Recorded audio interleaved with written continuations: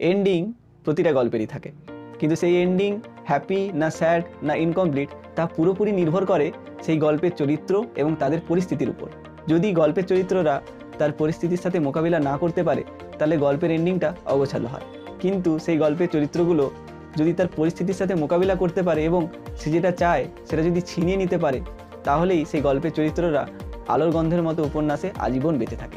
তাহলে চলুন, আজ আমি কথা বলব সরঞ্জিৎ চক্রবর্তীর লেখা আলোর গন্ধ এই উপন্যাসটিকে নিয়ে। তাহলে দেরি কিসের? আমি সুমন, আপনি বই পোকা, স্বাগত বাবাই দা বুক টিউবে।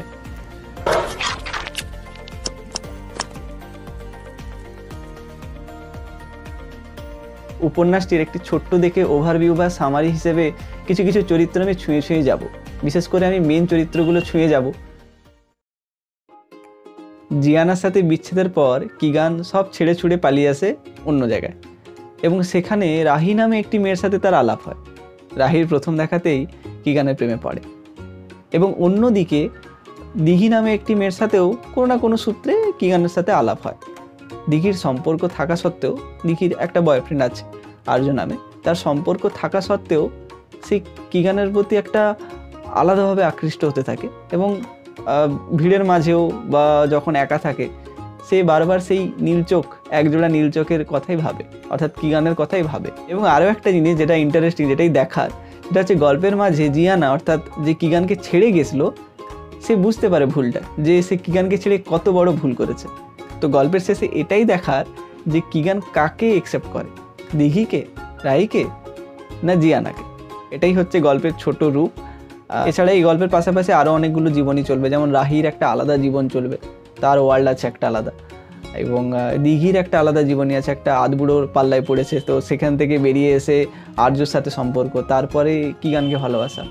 এছাড়া রুহান বলে একটি চরিত্র রয়েছে, তারও একটা জীবনী রয়েছে। হেরে যাওয়া মানুষদের ভিড়ের একজন হলো রুহান। বাবা, মা, নন্দা, সবাই ছেড়ে গেছে তাকে, সে এখন একা। তার জীবনে সব কিছু এখন ক্রিকেট। সেই ক্রিকেট খেলাটার মাধ্যমেই নিজের অস্তিত্বকে প্রমাণ করতে চায়। এই যে বইটি, আর এই যে দেখতে পাচ্ছেন, ইনি হলেন মহাশয় কিগান, আর ওই একজোড়া নীলচোখ এনাকে নিয়েই পুরো এই মোটা উপন্যাসটি। পেজ কোয়ালিটি নিয়ে কোনো কথা হবে না, আনন্দ প্রকাশনীর পেজ কোয়ালিটি নিয়ে কেউ যদি কথা বলে, তাহলে আমি আর তার সাথে তর্কে যাব না। পেজ কোয়ালিটি তো দুর্দান্ত, দামটাও দুর্দান্ত, বাড়ছে দুর্দান্ত। বইটির দাম সাড়ে তিনশো সাড়ে তিনশো লেখা আছে, এখন বোধহয় চারশো হয়ে যেতে পারে। কারণ আনন্দ প্রকাশনী বইয়ের দাম যা বাড়াচ্ছে, তখন চারশো হয়ে যেতে পারে। তবে হ্যাঁ একটা কথা আপনাদেরকে বলে দিই, যেটা না বললেই নয়, সেটা হচ্ছে এই বইয়ের চৌত্রিশ, অর্থাৎ একদম শেষ চৌত্রিশ নয়, ছত্রিশ। ছত্রিশ, এই যে দেখতে পাচ্ছেন, ছত্রিশ, এখানে লেখা আছে, পাতা বোধহয় চারশো ছাপান্ন। এই, এখান থেকে মানে এই শেষ পাতাটা পড়লে, আমি জানি গল্পের এন্ডিংটাই হচ্ছে মেন তো আপনাদেরকে আগের থেকে বলে দিচ্ছি, এর গল্পের এন্ডিংটা কিন্তু খুবই সুন্দর। যে কারণে এই উপন্যাসটা আমার বেশি ভালো লেগেছে। প্রতিটা ইমোশনের সমষ্টি হচ্ছে এই উপন্যাস। প্রত্যেকটা ইমোশন আপনি খুঁজে পাবেন এবং প্রত্যেকটা চরিত্রের সাথে আপনি রিলেট করতে পারবেন। বিশেষ করে দিঘি আর কি গান। এই দুটো চরিত্রের সাথে আপনি রিলেট করতে পারবেন, একদম। একশো ভাগই পারবেন। তাই আমার কি গান আর দিঘি চরিত্রটা খুব বেশি প্রিয়। কিন্তু সব জীবনীগুলোই নিজেদের মতো যতই ছুটুক না কেন, তার সাথে কোনো না কোনোভাবে লেগে আছে এই নীল, একজোড়া নীল চোখওয়ালা কিগানের চরিত্রটি।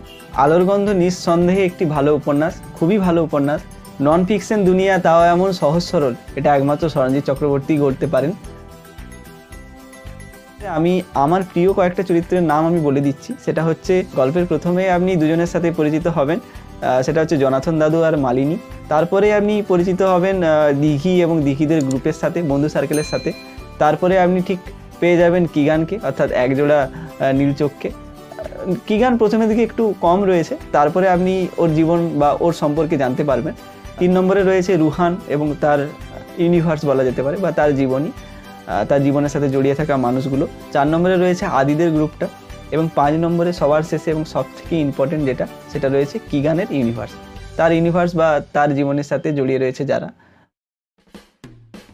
এবারে চলে আসি উপন্যাসটির ভালো দিক এবং খারাপ দিকে। উপন্যাসের কিছু কিছু জায়গা একটু বেশি রবারের মতো টেনে ধরা হয়েছে, যেটা একটু কম হলে ভালো হতো। জানি এত বড় উপন্যাস ছোট করা বা করাটা একটু চাপের কিন্তু তাও যেন কিছু কিছু জায়গায় একটু বেশি লেগেছে, ওটা একটু কম হলে ভালো হতো। আর সেকেন্ডলি হচ্ছে এতগুলো চরিত্র মানে সত্যিকারের এতগুলো চরিত্র যে আপনার প্রথম প্রথম ধরতে একটু সময় লাগবে। মানে কার কথা কি হচ্ছে, কে কার বন্ধু, কার জীবনে কে রয়েছে, এটা ধরতে সত্যি সময় লাগে মানে আমার সময় তো লেগেছে। তো প্রথমের দিকটা একটু চরিত্রগুলোকে মনে রাখতে অসুবিধা হচ্ছিল, তারপরে স্টোরি তার নিজের রাস্তায় চলবে। ভালো দিক আমি এক কথায় বলছি যদি আপনি স্মরণজিতের ভক্ত হন, তাহলে আপনি জানেন গল্পটা কী ধরনের হতে পারে, কী ধরনের ম্যাজিক আপনি পাবেন গল্পের মাঝে মাঝে। আর যদি আপনি স্মরণজিতের ভক্ত না হন, তাহলে বলব আপনি একজোড়া নীল চোখের কি গানের প্রেমে পড়তে তৈরি থাকুন। বইটা পড়তে বা এর জগতে হারাতে আপনার সময় লাগবে মাত্র পাঁচ পাতা। পাঁচ পাতা পড়লেই আপনি ইন্টারেস্ট বাড়তে থাকবে। যদি আপনি সরঞ্জিৎ ভক্ত হন, তো তাহলে আমি বলব চোখ বন্ধ করে বইটা তুলে নিন বা কিনে নিন। আর যদি আপনি প্রথমবার সরঞ্জিৎ পড়বেন বা বড় উপন্যাস পড়বেন, তাহলে আপনি ট্রাস্ট করতে পারেন মানে আপনি পড়তে পারেন এটা। বইটা কেনার আগে বা বইটা পড়ার আগে খুব বেশি এক্সপেকটেশন রাখবেন না। যদি পাল্টা হওয়ার মতো খুব বেশি এক্সপেকটেশন রাখেন, তাহলে নিরাশ হতে পারেন অল্প হলেও। আর যদি স্ট্যান্ড এলন একটা আলাদাভাবে উপন্যাস পড়তে চান বা নতুনভাবে সরঞ্জিৎকে জানতে চান, তাহলে নিঃসন্দেহে বইটা ভালো। আমাকে গল্পটা খুবই ভালো লেগেছে। আমি তো সবসময় বড় উপন্যাসগুলোর মধ্যে এটাকে দ্বিতীয়তে রাখি। প্রথমে তো অবশ্যই পাল্টা হওয়া। যারা পাল্টা হওয়া পড়েছে তারা ভুলতে পারবে না। তো আমি পাল্টা হওয়ারও একটা রিভিউ আনব। তো দ্বিতীয়তে এটা থাকে, তারপরে তিন নম্বরে আমি জোনাকিদের বাড়িকে রেখেছি। তো এই হলো আজকে রিভিউ ভিডিওটা কেমন লাগল আমাকে জানাতে পারেন। পরবর্তী কোন বইয়ের রিভিউ আপনারা পেতে চান সেটা আমাকে কমেন্ট বক্সে জানাতে পারেন। চ্যানেলটি সাবস্ক্রাইব করবেন, ভিডিওটা লাইক করে দেবেন। আপনাদের এই লাইক কমেন্ট আর সাবস্ক্রাইব আমাকে অনেকটা উৎসাহ দেয়। তো প্লিজ মনে করে সাবস্ক্রাইব আর লাইকটা করে দেবেন। ভালো থাকবেন।